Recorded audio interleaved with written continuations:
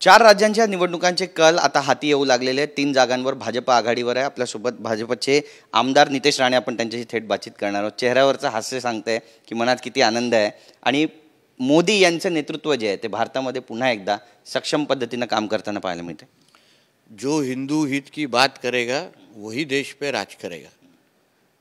आदरणीय मोदीजीने आमच्या भारताला एक हिंदू राष्ट्र म्हणून जेवढं ते भक्कम करत चाललेले आहेत.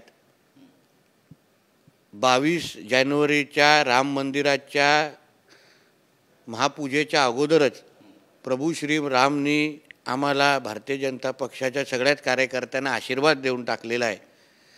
आणि देशामध्ये आमच्या सगळ्याच विरोधकांना देशवासियांनी सरळ स्पष्ट भूमिका असा संदेश दिला आहे की आपल्या देशामध्ये फक्त एकच गॅरंटी चालते ती मोदीजींची गॅरंटी बाकी ह्यांच्या कुठलीच गॅरंटी कामाला आल्या नाहीत.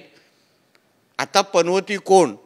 ह्याचं उत्तर काँग्रेसवाल्यांनी आता देशवासियांना दिलं पाहिजे. नक्कीच. म्हणजे भारत का बच्चा बच्चा? अब जय श्रीराम बोलेगा कारण का आमचं हिंदुत्व राष्ट्र आहे. हिंदुत्ववादी विचाराला एक स्पष्ट समर्थन देशाच्या जनतेने दिलेलं आहे. ज्या पद्धतीने राजस्थान असो मध्य प्रदेश असो छत्तीसगड असो तेलंगणामध्ये पण एक सीटवरून आम्ही नऊ सीटवर गेलेलो आहे. म्हणजे जिथे आमचा एक आमदार होता तिथे तेलंगणामध्ये नऊ आमदार आलेले आहेत. आणि तिथे के सी आरच्या विरोधात मतदान झालं आहे बी आर एसच्या विरोधात मतदान झालं आहे त्याला लोकांना के सी आर नको होता म्हणून काँग्रेसला मतदान झालं आहे काँग्रेस तिथे जिंकलेले नाही आहे बी आर एस तिथे हरलेले आहे. म्हणून येणाऱ्या लोकसभा निवडणुकीमध्ये पण सर्वात जास्त खासदार हे तेलंगणामध्ये भारतीय जनता पक्षाचेच असेल.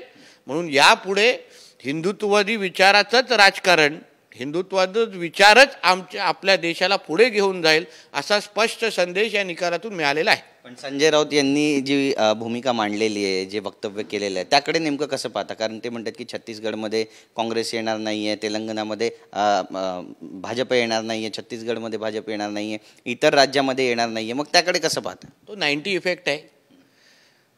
ज्या माणसाला हे माहीत नाही की मिझोरमचा निकाल उद्या लागणार आहे आणि तो मिझो मिझोरमचा निकाल जाहीर करून मोकळा झालेला आहे.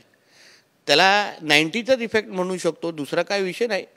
आणि शेवटी एक लक्षात घ्या ज्या माणसाचा पगारच आज दहा जनपदवरून सुरू आहे दिवाळी बोनस असेल महिन्याचा पगारच असेल जो पहिलं उद्धव ठाकरेकडून आता दहा जनपदवरून यायला लागला असेल तर तो मिठाला जागणारच एवढा पत्रकारिता एवढे वर्ष केल्यानंतर पण ज्याला जमिनी हकीकत माहीत नाही ज्यांनी साधा आयुष्यामध्ये एक सरपंचाची निवडणूक लढवली नाही तो जेव्हा निवडणुकीचं विश्लेषण करायला बसतो ना तेव्हाच अशी उत्तरं भेटतात. पण त्यांनी एक सांगितलं की देशामध्ये आता भाजपची लाट जी आहे ती ओसरत चाललेली आहे आणि काँग्रेस एक सक्षम पक्ष म्हणून उभारी घेईल मग या वक्तव्याकडे तुम्ही उत्तर कसं देणार? मला वाटतं ह्याचं उत्तर ज देशाच्याच जनतेने दिलेलं आहे. मध्य प्रदेशमध्ये एवढे वर्ष शिवराज सिंग चव्हाणजींचं किंवा भारतीय जनता पक्षाची सत्ता असून पण आज आम्ही एकशे बासष्टवर आहोत. म्हणजे क्लिअर कट मेजॉरिटीचा आकडा पार करून आम्ही गेलेलो आहे.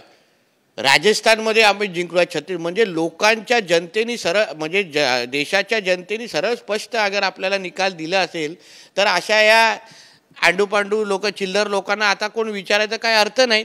ह्यांचा आता पगार दोन हजार चोवीसपर्यंतच आणि ते पण हे आता बाहेर तुम्हाला दिसतील का? कारण का ज्या पद्धतीने कारवाया सुरू आहेत संजय राजाराम राऊत हे मोदी साहेब जेव्हा तिसऱ्यांदा शपथविधी घेतील तेव्हा जेलमधून तो सी सी टी व्हीतून ते शपथविधी बघणार एवढं गॅरंटीने सांगू शकतो. नक्कीच. अ, मोठं वक्तव्य तुम्ही या ठिकाणी करताय.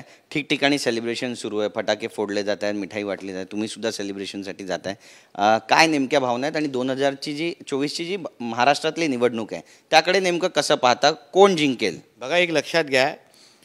हा जो कौल आज आलेला आहे भारतीय जनता पक्षाचा प्रत्येक कार्यकर्ता आमच्यासारखे असंख्य कार्यकर्ते मध्य प्रदेशमध्ये गेलो तेलंगणा गेलो आम्ही एक परिवार म्हणून ही निवडणूक लढलो. देशाच्या जनतेला ज्या ज्या राज्यात जात होतो वारंवार लोकांना सांगत होतो की मोदीजी या देशाचं नेतृत्व करतायत. मोदीजींशिवाय दुसरी गॅरंटी नाही आणि मोदीजींपेक्षा मोठी विश्वासार्हता नाही. आणि त्या सगळ्या ह्याच्यावर देशाच्या जनतेने विश्वास केला आणि एवढा मोठा कौल दिला आहे म्हणून मध्य प्रदेश राजस्थान छत्तीसगड तो झाकी आहे. अभी महाराष्ट्र में ऐतिहासिक जीत बाकी आहे. नक्कीच. एक महत्त्वाचा प्रश्न तुम्हाला विचारायचा आहे. तीन पक्षाचं तुमचं सरकार आहे. आता हसन मुश्रीफ म्हणत आहेत की आमचा पायगुण चांगला आहे म्हणून भाजप आहे अशी विधानंसुद्धा आता समोर येऊ लागलेली आहेत. काय म्हणाल? भारतीय जनता पक्ष हा पहिल्या दिवसापासून विजय पथावरच होता.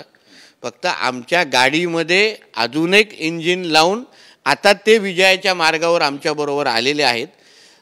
जेव्हा ते जोपर्यंत ते भारतीय जनता पक्षावर नव्हते तेव्हा त्यांचे निकाल त्यांच्या नजरेसमोर स्पष्ट होते. आज मोदीजींसारख्या वटवृक्षाच्या खाली आल्यानंतर आज सेलिब्रेशनचा काळ आलेला आहे. नाहीतर काय कसा दिवस गेला असता हा त्यांना कळलं असतं. राजस्थानमध्ये फार मोठी मुसंडी मारताना भाजप तुम्हाला दिसत आहे का? आणि त्याचबरोबर मध्य प्रदेशमध्ये तर आपण पाहिलं की क्लीन स्वीपच आहे भाजपला. छत्तीसगडमध्ये सुद्धा भाजप आघाडीवर आहे जिथे चेहराच नव्हता. आणि तेलंगणामध्ये सुद्धा आपण पाहतोय की नऊ जागा जिंकल्या. तुमचं ओव्हरऑल याबद्दलचं मत काय? गिरीशजी मी स्वतः रस जमिनीवर होतो लोकांचा प्रचार करत होतो. ह्याला मोदी मॅजिक म्हणतात. लोकांना पूर्ण पद्धतीने मोदीजींच्या नेतृत्वावर विश्वास आहे. लोकांना हिंदुत्ववादी विचाराचं सरकार देशामध्ये पाहिजे. हे जे जे काही जिहादी लोक विचाराचे लोक ज्या पद्धतीने आज कर्नाटकमध्ये निकाल लागल्यानंतर काँग्रेसची सत्ता आल्यानंतर तिकडच्या ज्या हिंदू समाजाची जी हालअपेक्षा सुरू झालेली आहे हिरवे झेंडे दिसायला लागलेले आहेत लव जिहादसारखे कायदे रद्द व्हायला लागलेले आहेत म्हणून आता लोकांना विश्वास बसला आहे की काँग्रेसला सत्ता म्हणजे पाकिस्तानला मत. काँग्रेसची सत्ता म्हणजे मुस्लिम लीगला मत. हे सरळ स्पष्ट समीकरण झालं असल्यामुळे तुम्हाला हिंदुत्वाची मोठी लाट ही आता तुम्हाला दोन हजार चोवीसपर्यंत तुम्हाला दिसणार आहे. म्हणून तर मी सुरुवातीचंच वाक्य वापरलं जो हिंदू हित की बात करेगा वही देश पे राज करेगा ह्याच्यावर शिक्कामोर्तब झालेला आहे. धन्यवाद आमच्याशी बोलल्याबद्दल. तर आपण पाहतोय की नितेश राणे यांनी म्हटलंय की जो हिंदू इतकी बात करेगा वही देश पे राज करेगा. भाजपच्या नेत्यांचा कॉन्फिडन्स कुठेतरी वाढताना पाहायला मिळतोय. Camera person Yogesh गुरवसा Girish Gaikwad T V nine Marathi Kankavli.